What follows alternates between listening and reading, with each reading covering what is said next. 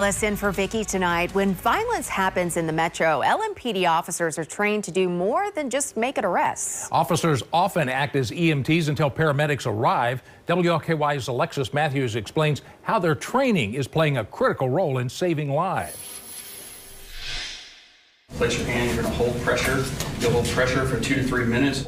Tactical medical care, a method of rendering aid to trauma patients that is common in the military, is also a required training for every officer at Louisville Metro Police Department. It's for the officer mainly, um, but it happens that we're able to use it for civilians, and, and, we use it more on the public than we do on ourselves. Oftentimes, law enforcement beat EMS to a crime scene, and through this training, led by Todd Richardson, the department's health and safety officer, police will have the knowledge and this toolkit to treat victims who have been shot, stabbed, or have other traumatic injuries. It's my opinion, based upon the usage and the videos that I watch, that our homicide rate would probably be triple what it it is if it wasn't for the fact that officers are, are doing this, because they're doing it every day. Louisville's current homicide numbers and non fatal shootings are down compared to last year. Yet, Richardson says officers are still using upwards of 200 tourniquets and chest seals